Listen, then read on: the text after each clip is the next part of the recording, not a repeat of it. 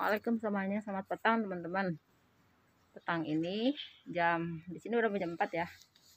Biasanya aku sebelum nyiram sayur, aku mau lihat-lihat dulu. Kemarin aku habis makasih ini ya, daun kusuk ubi. Jadi anggur ini biar merambat ke sana. Besok itu bayang ke atas ya, mau saya pangkas juga. Nah, ini cabenya subur banget teman-teman ya. Kemarin pagi itu aku udah panen ini daun ubi sama kacang panjang juga ya. Dan sekarang pun aku mau panen lagi kacang panjang. Sama pare teman-teman. Nah ini ada kacang panjang merah juga udah udah keluar ya. Nah ini dah kembangnya ada banyak nih di sini. Ini cabai yang setan ini nih cabai setan nih. Masih tetap berbuah terus teman-teman. Kalau itu nggak setan sih cabai biasa cabai pedas juga. Biasa ke sana itu anggur nah ini tomat buah nih. Baru tumbuh ya kalau ini terong-terong nih. Udah banyak keluar nih. Walaupun banyak semut tapi dia tetap banyak udah sepang kasih daunnya yang ada semut. Tetap keluar. Nah ini pare nih. Pare tuh. Pare nah pare nah. Tuh di atas ada gede nanti mau tak ambil. Nah ini pare nih. Ini kecipir ya. Kecipir udah rambat ke atas sana tuh.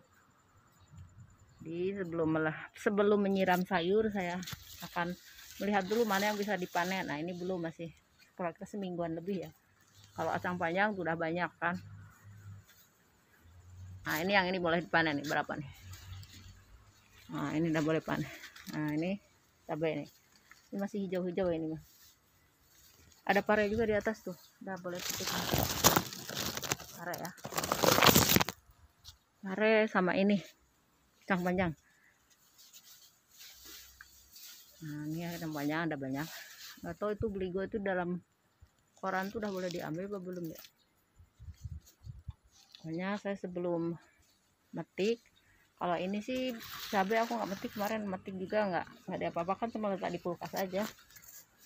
Soalnya aku cuma guna paling satu dua aja gitu. Nggak banyak.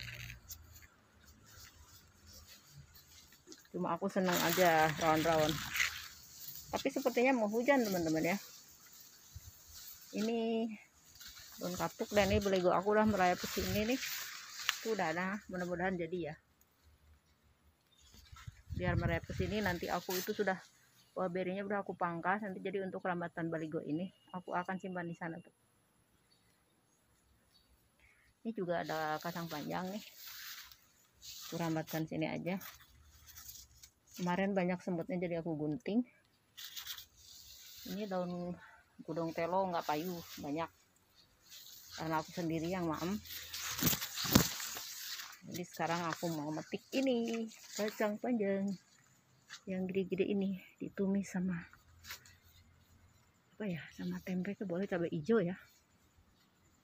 Wow gede-gede uh.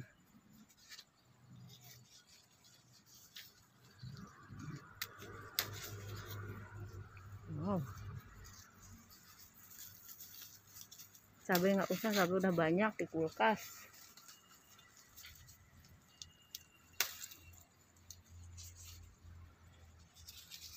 Ini aku dipencok aja nih. Kalau nggak dipencok simpan aja di kulkas diawetkan itu ya di, air ya. Udah tuh dimakan itu teman-teman. E, di ikan air terus kita anukan apa? E, rebus sebentar ya rebus sebentar terus dinginkan tadi freezer ya. Kalau per perlu tinggal di itu aja ambil dikit-dikit. Nah ini aku ambil yang gede-gede aja. Jadi yang kecil-kecil biar nanti untuk kapan-kapan lagi. Aduh. Jatuh.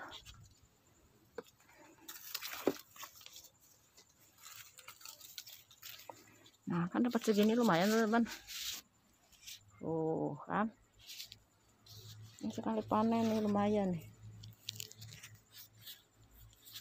Satu kali panen satu kali masak. Uluh. nggak bawa tempat saya ini juga boleh agaknya diambil aja lah. Masih kecil besok-besok lagi pak. Yang ini masih ada berapa ya? Besok lagi lah. Yang ambil pare nih di atas nih mana ya? Bisa ambil nggak ya? Wah untung kelihatan. Nanti kalau nggak diambil nih keburu diambil itu ya. Keburu di diambil dimakan apa namanya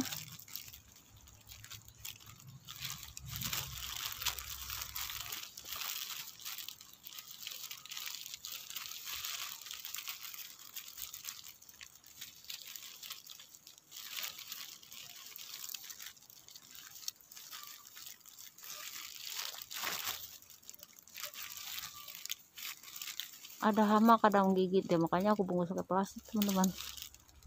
Kalau nggak dibungkus mah.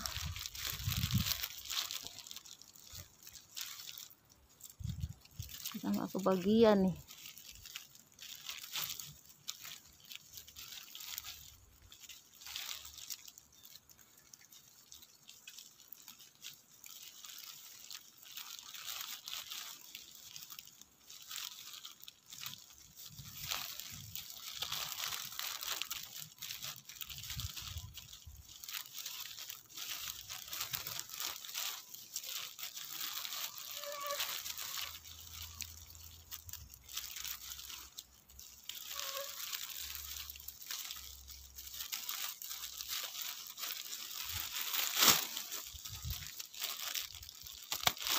Nah, ini dia teman-teman.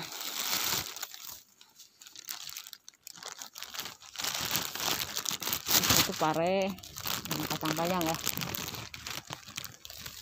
Kalau itu mah beli gua besok-besok lagi.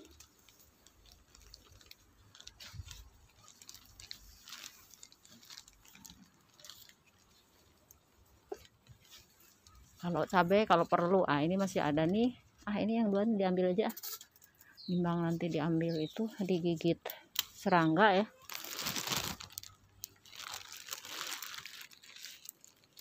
Aku udah dapet itu. Nah ini pare. Juga boleh ditumis sama udang ebi ya apa sama udang kecil itu yang nah ini untuk besok-besok. Nah. masih banyak teman-teman tuh di sana. Aku bungkus ada empat apa lima ya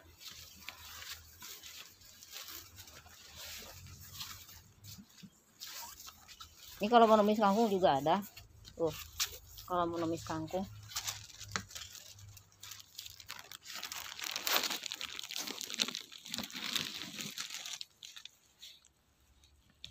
Tak sini aja deh.